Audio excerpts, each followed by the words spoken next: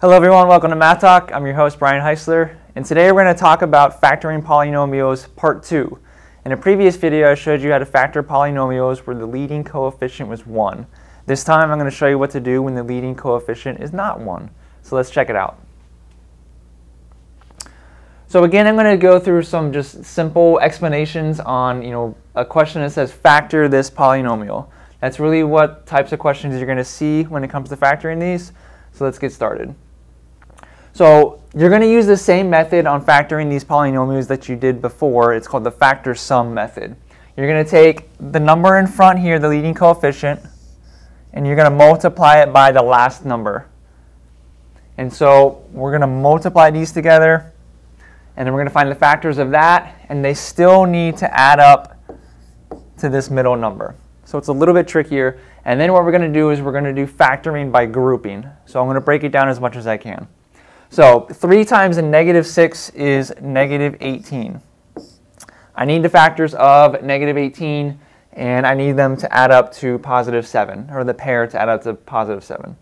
So I have 1 and 18, I have 2 and 9, and I have 3 and 6. Those are the factors. Well, 1 and 18 are not going to work. You can't really get those to add up to 7. 2 and 9 if, well, if I were to do 9 minus 2, 9 minus 2 is 7, so that could work. Minus 2, positive 9. And that actually is the only one that's going to work. 3 and 6 don't help us out. So these are the two numbers that I need.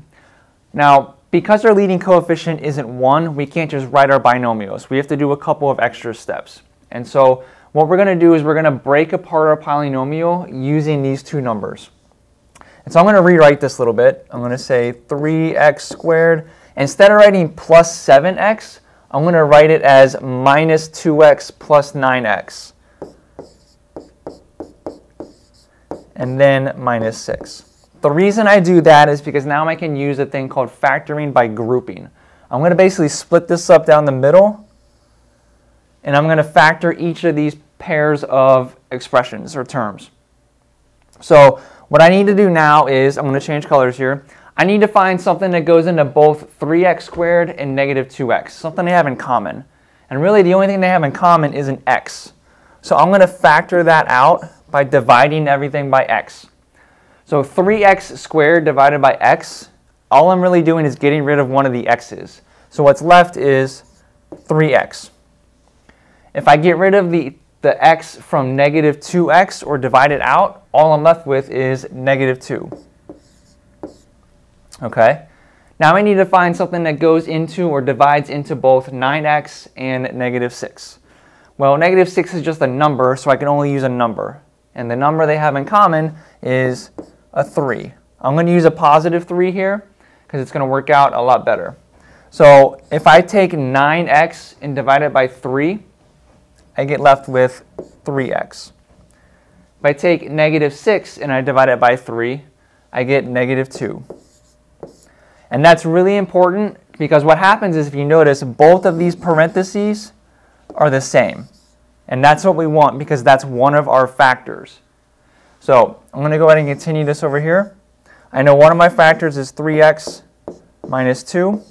The other factor is what's on the outside of the parentheses. So I have an x over here, and I have a positive 3 here.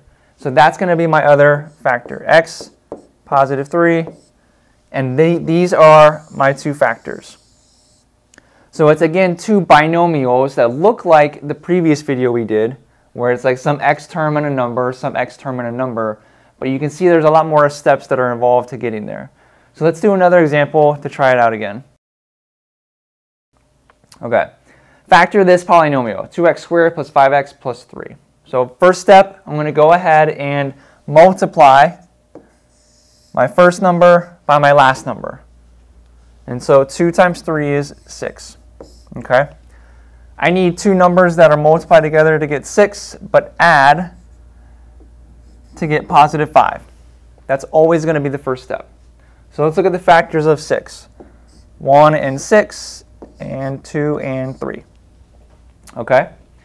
Well, if I look at 1 and 6, then the, I can't add those two together because 1 plus 6 is going to be 7. And 6 minus 1 is going to get me, uh, 6 minus 1 would give me 5. But the problem is 6 times negative 1 is not positive 6, it's negative 6. So this doesn't work, which means 2 and 3 have to work. And if you look at it, positive 2, positive 3 are going to get me positive 5 when I add them together. So let's use these two numbers to split up our polynomial. I'm going to rewrite it a little bit. 2x squared. Instead of plus 5x, I'm going to write it as plus 2x plus 3x. Plus 2x plus 3x, and then plus 3. The reason I can do that is because 2x plus 3x is the same thing as 5x. So you're just writing it differently. It's the same value. I'm going to split it down the middle, and I'm going to do factoring by grouping. So I need to find some value that can divide into both 2x squared and 2x. Unfortunately, they both have 2 in common, and they both have an x in common. So I can divide those out. 2x squared divided by 2x is the 2 goes away, one of the x's goes away, so I'm just left with x. And then 2x divided by itself. Any number or any value divided by itself gets you 1 left over. It's important to know that it's not 0, it's 1 because you're dividing. And that's going to make a difference in your answer. So on the right side, I need to figure out what's going to divide into 3x and 3. Well, fortunately, they both have a 3 in there, so I can use that. And 3x divided by 3 is just getting rid of the 3, so it's just left with x. And then, like I said, any number or any value divided by itself, 3 divided by 3 is 1. And this works out really well because now the parentheses are the same. And that's always what you need because that's one of your factors. So let's go ahead and write that as one of our factors, x plus 1. The other factor is what's left on the outside of your parentheses. So the plus 3 and the 2x. Always write it left to right. So 2x and then plus 3. So these are my two factors of this polynomial. I've gone and factored it out. So as you can see, when you factor polynomials where the leading coefficient or the first number is bigger than 1, it becomes a trickier process. But there's really a couple of different steps you have to follow. Um, use the factor sum method, definitely. Break up your polynomial so you can do by grouping, and then find your factors. I hope this helps when you get to these types of questions. Make sure you follow us on social media, like, subscribe, and follow. Thanks for watching.